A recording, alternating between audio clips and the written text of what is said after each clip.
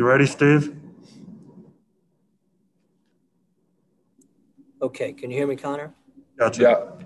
Okay, we'll go ahead and get the questions for Connor McCaffery. Please raise your hand if you have a question and we'll get started. Go ahead, Chad Leistikow. Hey, Connor, seemed like a lot of things uh, were kind of going against you guys today. How did you guys try to keep your composure uh, when things did not go your way? Yeah, you know, I think that's a good question. Um, you know, in this type of game, there's a, there's a lot of things that go on. I mean, they're a really good team, so you know, every possession is really, really important. Uh, you know, a couple bounces. You know, I feel like we couldn't get a bounce, we couldn't get a call, and it's just like at times, you know, I think we really buckled down and fought through it. And then there's just a couple possessions where we might have let it get to us a little bit, and that's the difference in the game. You know, it's just, you know, it's a five point game. You know, with with three minutes to go. Bottom line, you know, with everything that happened, everything that went on, you know, we were right there. And uh, you know, I just think that against a team like that, you you really need to value every possession and stay mentally tough, fight through everything. You know, people are going to make mistakes. You know, it's what you do after the mistakes that matter. And I think, you know, maybe a couple bounces go our way, maybe see a different outcome. Uh, but, you know, like I said, you know, they're a really good team. They made plays. Uh, and, you know, I feel like, you know, there's definitely things we can improve on if we were to play them again. Tom Kakert, go ahead.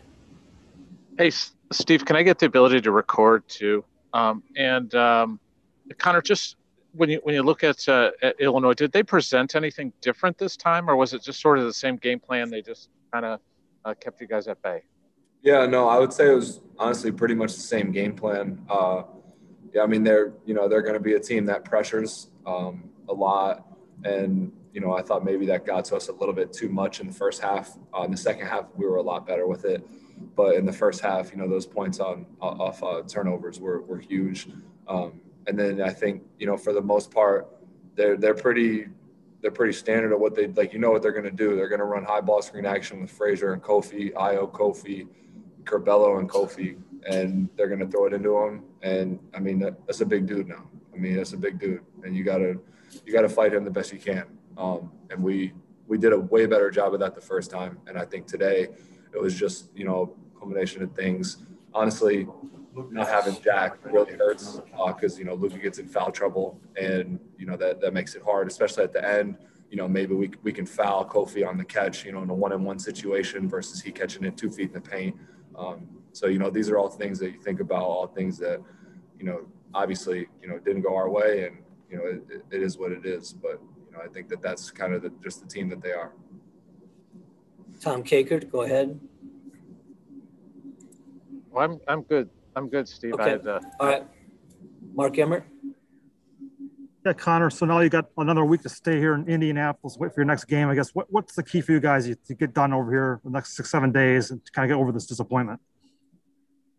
I mean, I, I wouldn't call it. You know, I wouldn't call it a disappointment. Um, you know, I think that you know, I think we fought hard. Uh, you know, I think we we got to be proud of what we've done this season, um, and I think we all are you know, like I said, some things didn't go our way. Obviously, we want to be playing in the championship. Um, but you know, I think now this this upcoming week we'll look back, we'll get healthy. I think that's the main thing. Uh, really getting healthy. You know, we got a lot of guys banged up. You know, playing playing a lot of games recently. So you know, get in with Brad, get treatment, um, and then just you know get in, get your shots up when you can, wherever wherever we're practicing at uh, watch film, get prepared for the next team. You know, the NCAA tournament's going to be completely different. Um, it's new game plans, new teams, and we need to we need to get ready for them. Scott Dochterman. Yeah, Connor. I mean, you you've played in the toughest league in the country. You played the number one team in the country. Five teams probably you played against. It'll be a top three seeds. How do you think you guys stack up when you reach when you go to the NCAA tournament? Just based on the level of competition you've competed against this year? Yeah, I mean we're we're right there. I mean the you know we're a possession away against you know we beat Ohio State, who's going to be a one or a two seed. Uh, we were a possession away against Illinois at their place today. You know we cut it to five. Obviously, probably two possessions away today. I would say, but uh, you know I, I think you know it's, it's, a good question. I think we're I think we know where we're at. We stack up. We're right with them. Um, and you know I think it just comes down to you know a good game plan, uh, and us being you know mentally focused and locked in the entire game uh, through and through and playing absolutely as hard as we possibly can. Our last question for Connor, Chad Leistikow, go ahead. Hey man, if I ask your dad about officiating, he's not going to talk to. He's not going to answer it. So, uh, uh, I guess did you guys have to adjust to the way they were calling today? It it's it did seem a little uh, unusual at times. Yeah, you know, I I think it was unusual just in the sense that when, but it's just that it's Illinois. Like when you play games with them, it's just going to be more physical. It just is, and we and we know that coming in. Um, I I don't think there's necessarily much more. You know, the, the refs could have done. Um, you know, in the first half, they, they didn't really have a lot of fouls called on them. But, you know, I just think that, you know, this game is so much more physical, just this matchup. Um, you know, obviously it's a little bit of a rivalry matchup.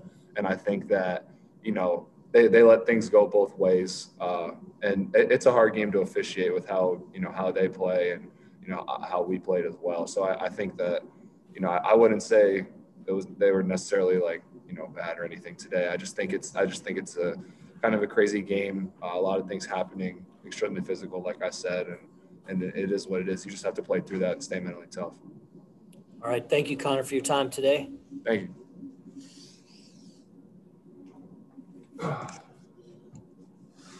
We'll go ahead with questions for Luka Garza. Luka, you can hear me okay? Yeah, I hear yeah. All right. Please raise your hand if you have a question. Go ahead. Scott Dochterman. Yeah, Luka. I mean, what what was the physical toll like for you today in this game? Because you're going up against uh, maybe the biggest player, biggest good player there is out there in the country, but just in size. And so, what was that like to have to play as many minutes as you did going against a player like that, that physical?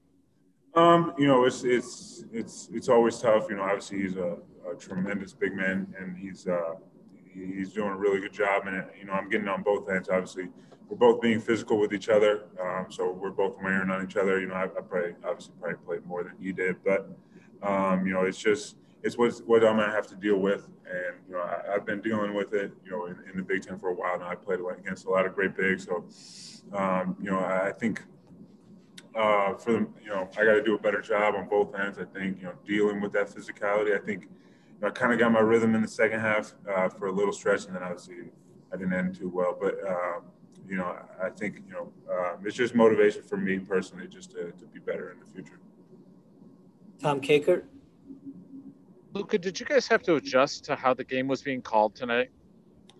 Yeah, I mean, uh, I think you always have to adjust, you know, just based on what you know what's being called, what's not, and obviously, you know, the, it's such a physical game. You can call a foul every single time down. You know, it's just how it is on both ends. You know, we're both banging each other, being very physical. Um, you know, uh, you know, I think there were some calls that didn't go their way, and I think there were some calls that didn't go our way. Um, and you know, that's just how the game of basketball is. Mike Hlas. Uh, conference tournaments get forgotten pretty quickly. Uh, how soon does this one get forgotten with you guys? And what are what's your mindset about the coming NCAA tournament? You know, obviously it sucks right now uh, to to lose, um, and, and, you know it's going to suck for you know tonight. But once you know we hear our name called tomorrow, uh, you know, as a very high seed, um, you know, I think we're going to be excited about our opportunity uh, to, to do some special things in, in the tournament. So I, I, think if anything, it's, it's motivation uh, that you know kind of inspires us to just you know, when we when we have a chance, you know, we're going to play a team like this, if not them, uh, again in a tournament. You know, if, if, we make it to where we want to make it to, so we got to be able to be better um, in that moment. So. Um, you know, I think everyone's really focused and locked in on, on you know what we want to do. And part of that, obviously, was you know winning today, but you know, the ball doesn't always bounce your way. So we're just going to stay motivated, stay humble, and, and, and, get ready to go. Rob McCulley, go ahead. How did you think the defensive intensity matched up today from Illinois versus the first time around? You know, I think when you look at both sides, both teams have improved a lot on the defensive end. I think that's why you've seen a rise in both of us. You know, that at that point, you know, they were maybe ranked 19th or 15th or something like that. And obviously they are where they are now. And that's because they've really ramped it up on the defensive end, and we've done the same thing. And, and tonight, you know, you just saw a really physical game between two great teams, and, and credit to them, they were just better than us um, for certain stretches. You know, we had some moments where we could have um, got ourselves back, you know, into the game. Obviously, we cut it to five, and, and different things like that. And you know, that's obviously upsetting. But you know, we're uh, we're we're not done yet. We know we still got you know the thing we've been dreaming of for a while. So we're, we're focused on that.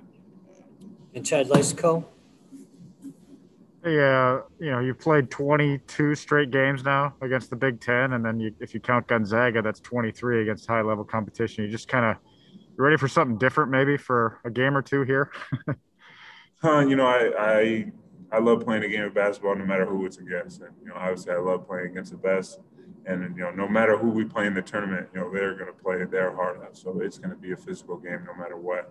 Um, and, and that's what I love. So you know, I love games like this, and, and you know, you uh, you have to fail uh, to be able to persevere and, and, achieve success. So uh, you know, it's not I'm not afraid of failure, and I'm going to continue to go out there and play as hard as I can every time I, I, I touch the floor.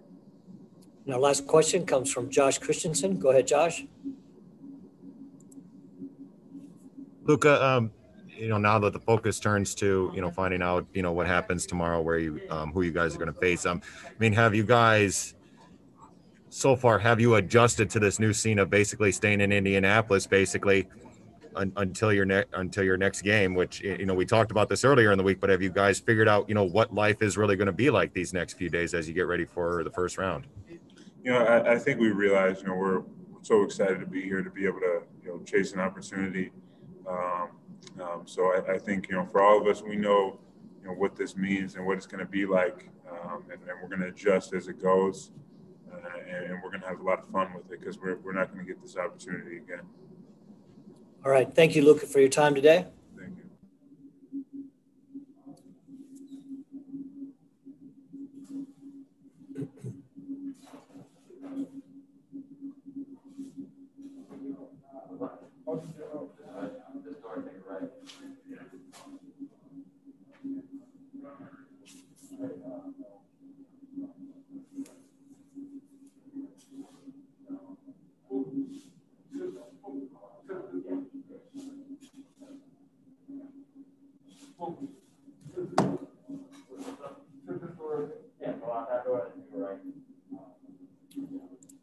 All right, coach, can you hear me okay?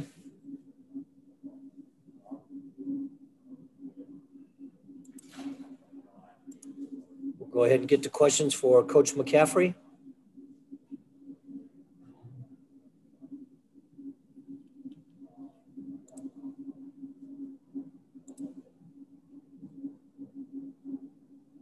Go ahead, Rob McCauley. Hey, friend. Uh, what did you think of Illinois' defensive intensity today versus the first time you played them? Hey, White. We tell White's coaches on mute. Yeah. Hang on one second, guys. We'll get that uh, fixed. I got it. You hear me now? I can yes, hear you. coach. Okay. Thank you. Go ahead. Yeah, I said it was about the same. Uh, did did the uh, Garza Cockburn matchup change drastically from the first time, in your opinion? You know, those two guys have always gone at it pretty good. I think two really good players, uh, real competitors. Thanks, Scott Dochterman. Yeah, Fran. What what was without Jack Nunge? How did that impact the game and what you wanted to do? Probably on both ends of the floor. Yeah, you know, I think I think you you really like to have another big. We put Josh in there. He was he was fine for the for the minute he was in there. Uh, you know, he's such a handful, and we were so worried about Luka getting in foul trouble because we knew we needed Luka, you know, in the game. Uh, so you know that that does change things. It also changes your zone. Uh, but you know, it's opportunity for others. I thought, you know, I thought Keegan and Patrick, Tony, Joe. I mean, I thought they gave us quality minutes off the bench. I mean, it would have been nice to have another big, no question. Chad Leistikow. Hi, Fran. I thought uh, Connor had a really good answer about, uh, you know, he said it wasn't as disappointed as you might think. I mean, this is a, uh, you got bigger things ahead here, I guess. Um, how do you approach this next week now? uh, and, and just take a big picture mindset, I guess, out of this loss. Yeah, you know, when we left Iowa City, and I wasn't even sure we were going to play Joe Wieskamp or CJ. Not because I didn't want to win the Big Ten tournament, it was because I, I wanted to do what was right for them. They both wanted to play. They both performed extremely well. Uh, I didn't think CJ was was was right at the end. That's why I took him out in those last seven minutes. He just didn't look right to me, so I took him out.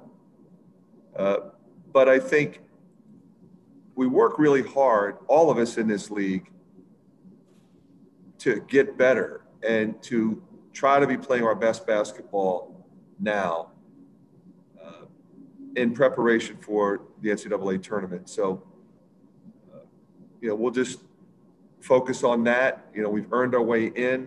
We're very proud of what we've done. We're not satisfied with what we've done. Yeah, today was a loss, but it's a learning opportunity. We played a, a team that is really tough and you know, I thought we did some good things. We've got, we, you know, we got to look at it and try to figure out what else we could have done differently. What could we have done better? And that's what you do. And then you, you know, you try to get ready when you find out who you're going to play and try to advance the NCAA tournament. But I think our league has prepared us and everybody else in this league well for what's coming. Mike Hlas. And uh, you, you kind of answered what I was about to ask, but I'll I'll ask it anyway. It's what do you feel that how do you feel you progressed with these two games here? What what do you take away from here, you know, in the last uh, well 24 hours? Yeah, you know what, Mike? I think it's a great question because it really challenges your your mental toughness. You know, we didn't get much sleep. Uh, you know, and, and, and we had to challenge our bench in both games.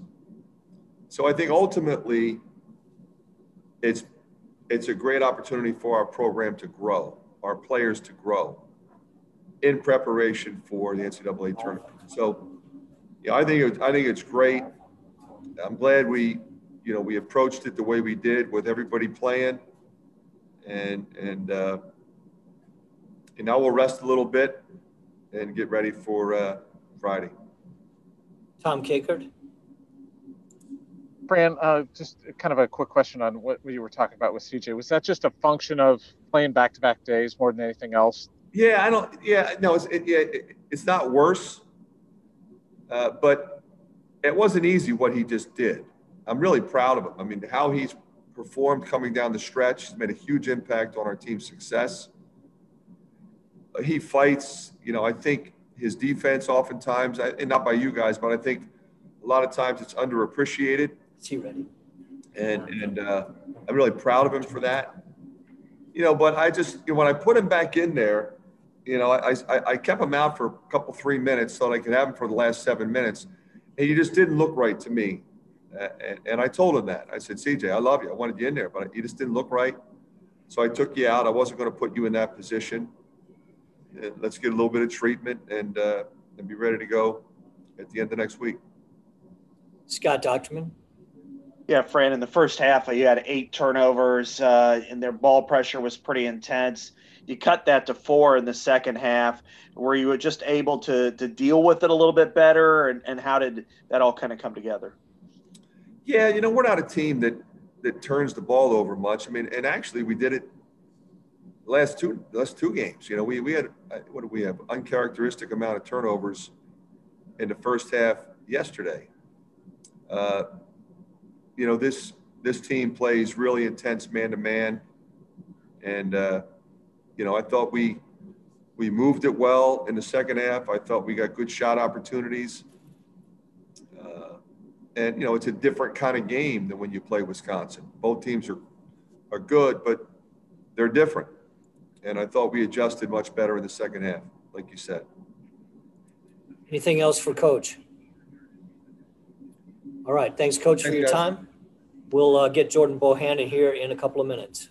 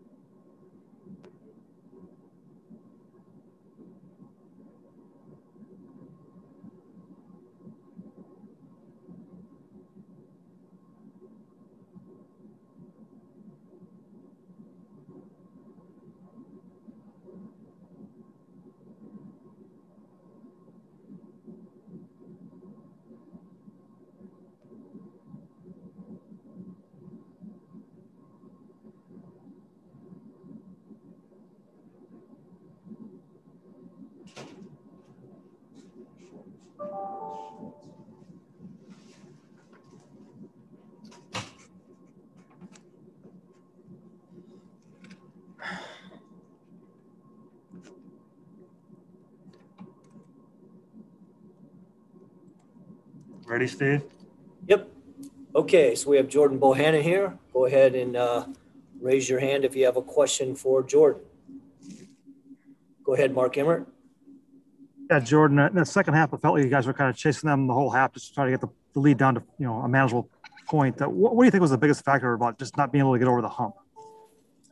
Uh, they just made big shots and made big defensive stops when they needed to.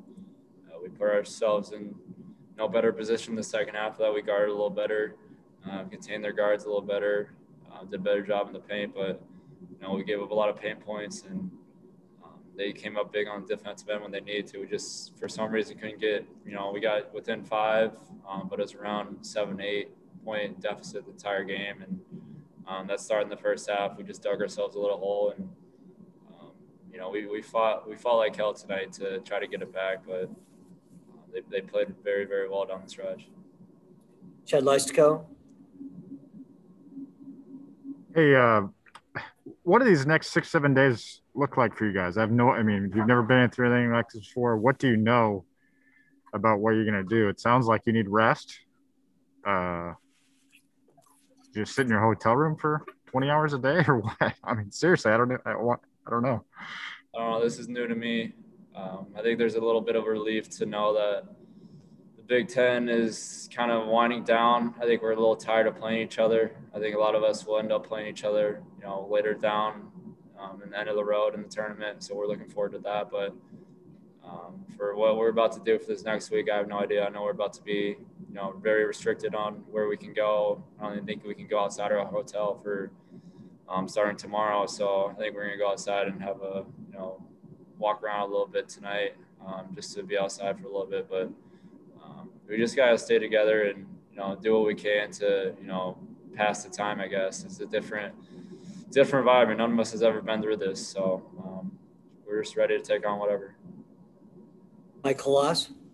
Jordan, you've talked a lot in the last few months about the NCAA tournament, and understandably so. It's your last one. Um, how do you feel about it at this moment in time? I feel great. We put ourselves in a damn good position to make something special. Um, you know, we lost a tough one in Illinois, but you know, our, our two seed is going to hold true. We're going to be a two seed NCAA tournament. We're going to be in a great position to make a run. Um, now, granted, there's going to be a lot of great teams we're going to have to go against to, you know, pass every single game and to, net, to the next round. Uh, but we, we did a phenomenal job this year uh, in the Big Ten play to put ourselves in a good position to make a run. Um, we battled our butts off tonight, and I think this game will only help us moving forward. Illinois is a very, very great team, very well coached, a lot of great players on that team, and um, you know we cut it within five. But I mean, at the end of the day, I don't think we played very good tonight, and you know we were still right there with them. Scott Dochterman. Yeah, Jordan, how did uh, the Illinois' defensive ball pressure impact you guys, especially in the first half when you had eight turnovers? Yeah, I mean, it was kind of like the last game against Wisconsin. We had eight turnovers in the first half, and uh, I think we were just trying to, you know, shake the rust off. And I thought we would come out a little better in the first half, but for whatever reason, um, we were a little loose with the ball again. Um, but that you got to give a lot of credit to their defense. They're always up into you. Um, you know that they're letting a lot of things go tonight, which they should. It's Big Ten basketball, and you know we just had to keep fighting through it, and you know they, they came out on top tonight. And our last question for Jordan comes from Tom Kakert. Jordan, I probably should have asked Fran this, but do you, what are you guys planning for tomorrow? Are you going to just gather in somebody's hotel room? Do you got a ballroom set to, set aside? What are you guys doing? I have no idea. I think it's kind of embarrassing that NC hasn't said anything about know what their plans are for the, these college athletes that are coming on to you know Indianapolis. You know we're basically have been told that we're supposed to be in our our room for you know unless we have to go to practice or to a game. So I think it's been you know terrible leadership by them to not you know have anything said about what we can do in our free time. I think they just expect us to be in our room 24 seven and um, That, that doesn't seem, you know, feasible in my mind. But you know, we're all grateful that we gotten here to this tournament. I'm not gonna, you know, continue to rat on them for not holding this event because they're doing this in the middle of a pandemic, and so far everything's been run smoothly. Um, we're hoping we can get through this tournament, you know, 100% with no pauses or nothing. Any opponents that we play or anyone that makes the tournament. So from that standpoint, it's been you know run very smoothly. We're looking forward to try to make a deep run. All right. Thanks, Jordan, for your time. Appreciate it. Okay, thanks, everyone.